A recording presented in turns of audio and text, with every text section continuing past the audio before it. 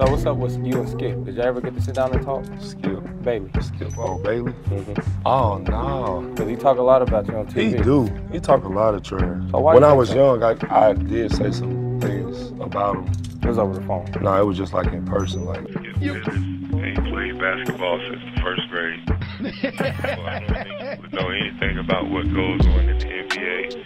You know, who cares what Skip Bayless says? What I wanted to do if I saw him because I was upset at a lot of stuff he said on TV. Mhm. So you're emotional. I'm not emotional at that point. I was just upset at some things he said. So Because a lot of times what people say on TV could mess up your, your money and all that. Mhm. So I you would have take it. that back if you could. No, it was just me expressing myself. I, I understand how to handle myself. I wouldn't actually hit nobody.